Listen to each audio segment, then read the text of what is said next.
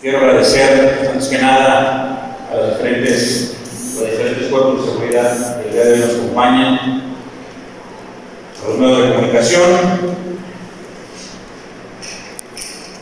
Los hechos, los hechos de violencia que han alcanzado nuestro municipio durante las últimas fechas y que tuvieron su máxima expresión durante este fin de semana son a todas luces lamentables. Ante la coyuntura, este ayuntamiento no se ha quedado ni se quedará con los brazos cruzados. Los cuerpos de seguridad pública, protección civil, Luz Roja y bomberos han salido a atender la emergencia, pero también es cierto que solo podemos actuar con las facultades que se tienen y con los recursos que contamos. Para la administración municipal, la prioridad es en todo momento salvaguardar la integridad de la población, de cada uno de los ciudadanos.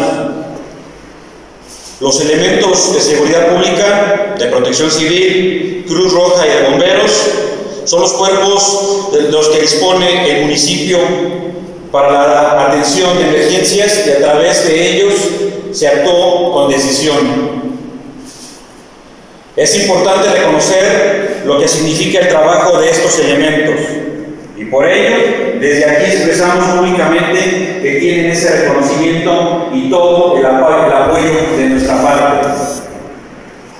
Al existir la posibilidad de que se presenten más actos violentos en el corredor industrial en la región Laja-Bajío, y en esta parte del Estado se presente el efecto de ello.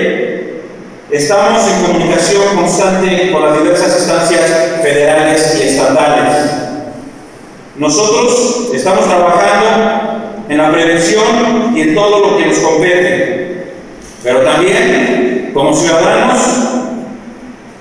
debemos conducirnos con precaución, evitar correr riesgos innecesarios, cuidar nuestra integridad y consultar las fuentes oficiales para evitar la difusión de estos actos violentos, de estos actos violentos y de noticias falsas que generen aún más daño a nuestra sociedad.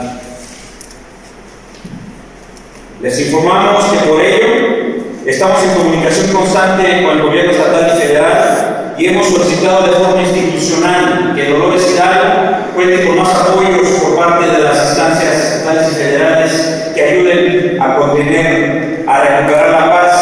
brindar la seguridad a las familias dolorenses. Muchísimas gracias.